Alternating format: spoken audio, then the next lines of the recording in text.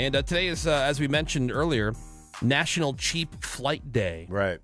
So Mm-hmm. if you've got some places to be between now and the end of the year, supposedly today is the day. Although every time there's like you know Black Friday or Amazon Prime Day or whatever, like are there really that great of deals out there, or is this just something because there's a a a heightened demand when Right. people hear about this kind of stuff?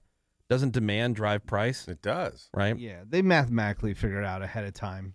Well, Uh, one thing I saw, I watched this whole report on it. It was pretty interesting. Uh, uh, ABC, I think, did it. But anyway, it's on YouTube. You can find this where they they were showing how. Let's say you look up a flight.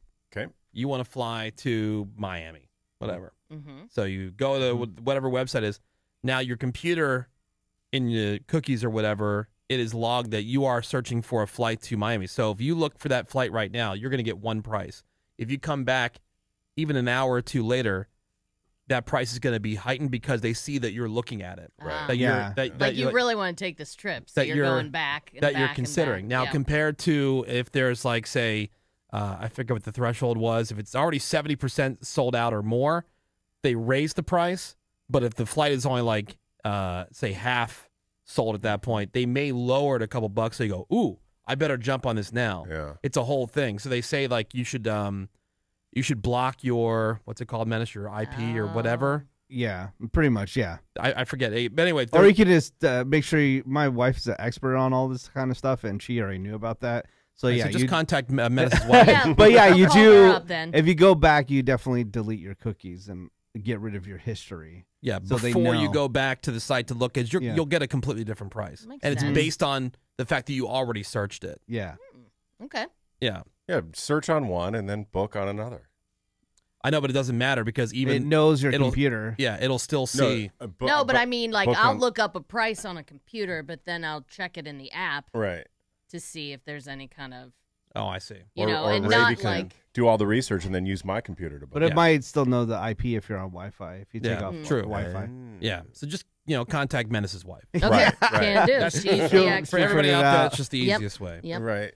Yeah, but anyway, uh, so today is the day that ticket prices for flights around the holidays hit rock bottom. This is historically. Okay. Uh, according to travel sites, their data shows that prices usually start dropping in June and just keep going down through most of August.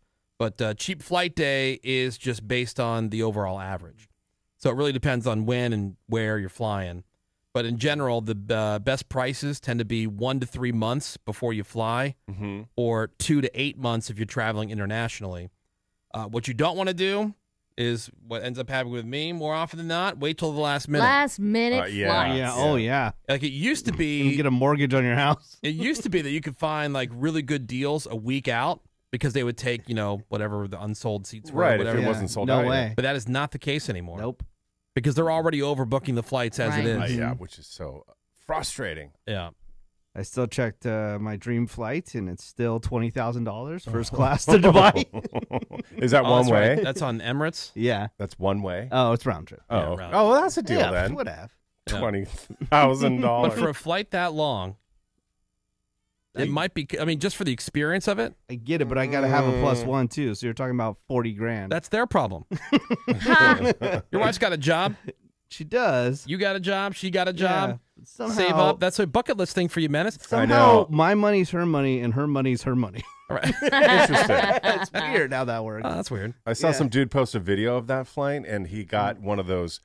I guess you'd call It's it like a little apartment. like a little suite, apartment. That's what Menace wants. Yeah, it's Yeah. got the bed. It's got these, you know, multiple TVs, this, that, and the Has other. a shower. And I thought if I ever found myself on this flight, I would do my damnedest not to fall asleep because I would feel like I was Oh, yeah. wasting oh, money. definitely. Yeah. Yeah, I've been on flights like that where Yeah. it's like I don't want to sleep. I don't want to sleep Yeah. because Yeah. I'm paying five hundred dollars a minute to oh, be you on this you'll love this too, Greg. I have friends that have taken this flight and that class. Yeah. And they automatically when they sit down is a bottle of Dom Perignon. Oh yes, There you go. Pretty good. noise. I'll But then on- I also noticed too that it had a little door, and the door have all these holes in it, so you can't really be nuding in there, you know. Mm. I'll just go in the shower, No But I would be so bummed if I fell asleep. Yeah, I mean, there's like those um, those planes that have the lay flat seats, or, or like JetBlue Mint or whatever. Yeah, this are- is that, but on steroids. If you haven't seen it, go Yeah. to Emirates, go online, do like a Google search on Emirates first, First class. class.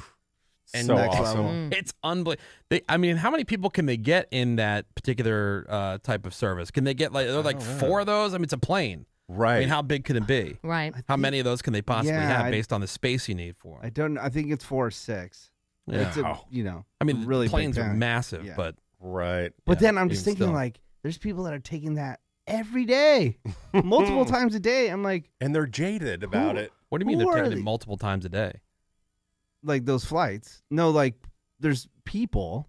Those flights are happening. They happening go multiple times. multiple Oh, times yeah. a day, not a person's I thought on someone's, like, commuting. times. No, no. Oh, yeah. I mean, the That's flights a are yeah happening multiple times a day. I'm like, yeah. who are all these people? Oh, you They're don't know- secret millionaires. You don't know Ed from Tulsa who commutes to Dubai? Yeah. constantly. Yeah, that's how he rolls.